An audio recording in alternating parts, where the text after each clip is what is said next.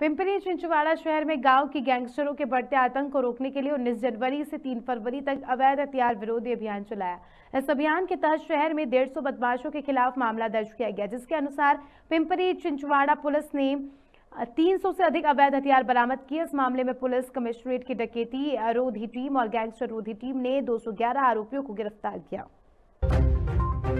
Legal weapon इसके विरुद्ध एक अभियान चलाया गया था। ये अभियान 19 जनवरी से 3 फरवरी तक 15 दिनों का था।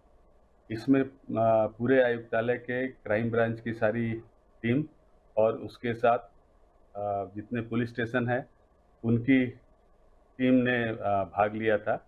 और इस अभियान के दौरान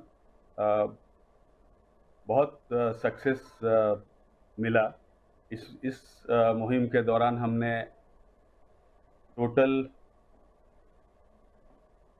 फोर्टी एट, अड़तालीस अग्निशस्त्र और 205 ऐसे धारदार शस्त्र जब्त किए और इसमें टोटल 150 गुना दाखिल हुए और 211 आरोपियों को हमने अरेस्ट किया।